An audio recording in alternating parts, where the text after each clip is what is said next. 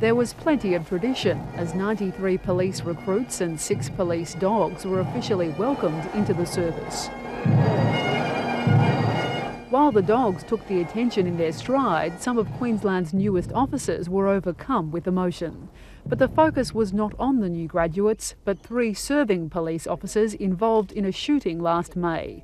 Gunman Nigel Parodi opened fire on the officers, seriously wounding them. Today, they and the people who came to their aid were recognised for their bravery. The victims say the award officially marks the end of a long ordeal. It gives an example to uh, you know, like other police in Queensland, members of other services, that um, you know, your efforts are recognised. It's good.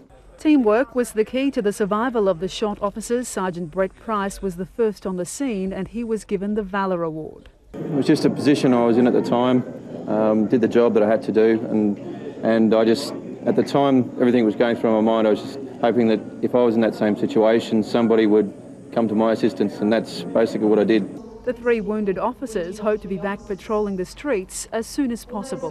Belinda Sanders, ABC News, Brisbane.